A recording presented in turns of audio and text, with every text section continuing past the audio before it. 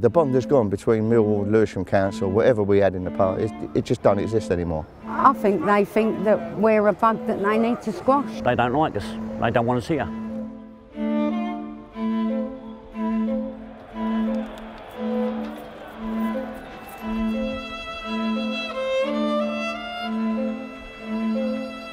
I mean, no one's denying that the area needs regeneration. It does need it.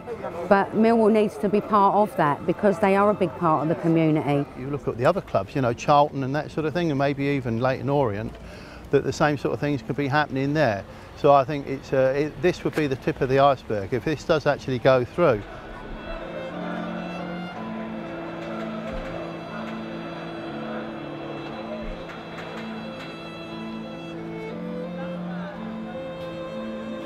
I really do wish I understood what was going on. I'm just dumbfounded. You know, the difficulty I think is the fact that we've all been left in the dark means that customers are being frightened. They're being left in a very uncertain position. This can happen to any football club, and it has happened before. I mean, we saw it happen with Wimbledon.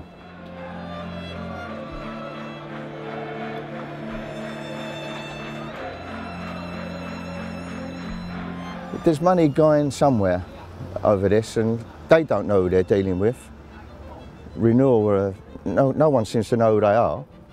I just don't understand their aim. So why are they so hell-bent on giving renewal, gifting renewal, all of our land, all of our buildings, all of our hard work?